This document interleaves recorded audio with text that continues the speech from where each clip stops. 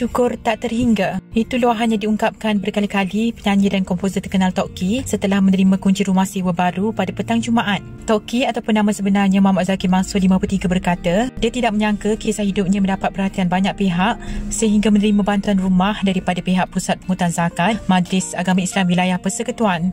Tak pernah saya jangka akan dapat perhatian sebegini rupa. Sampai macam ni orang ramai ambil berat terhadap diri dan keluarga. Terima kasih kerana beri sokongan supaya saya dapat hidup dengan baik dan terus berkarya. InsyaAllah pengisian dalam karya-karya saya selepas ini akan meletakkan Allah sebagai perkara pertama.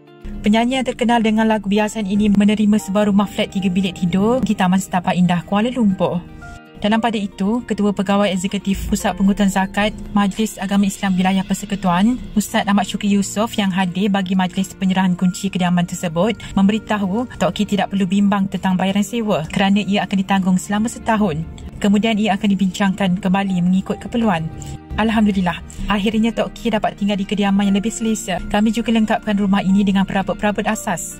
Apa yang penting, Tok Ki dapat terus berkarya demi kelangsungan hidupnya bersama isteri.